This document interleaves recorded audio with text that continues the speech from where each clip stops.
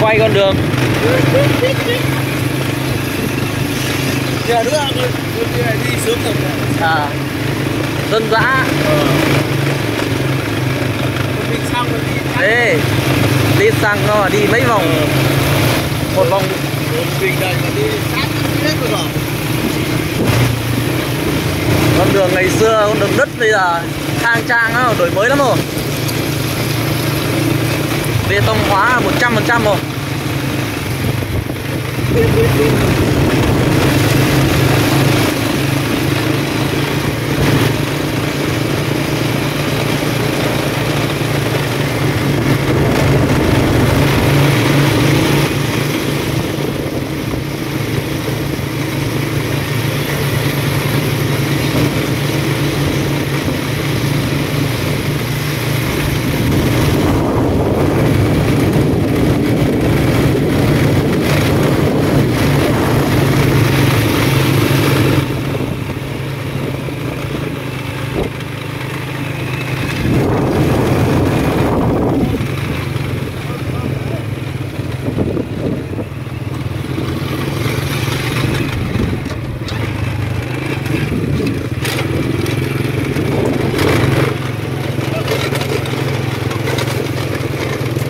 Vẫn chưa xong à?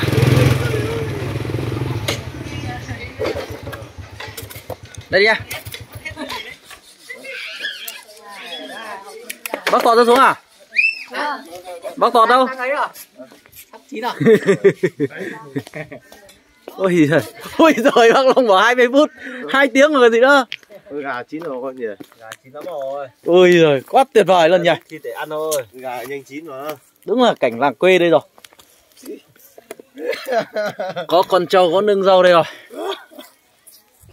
Được rồi được anh không mà. Mà mà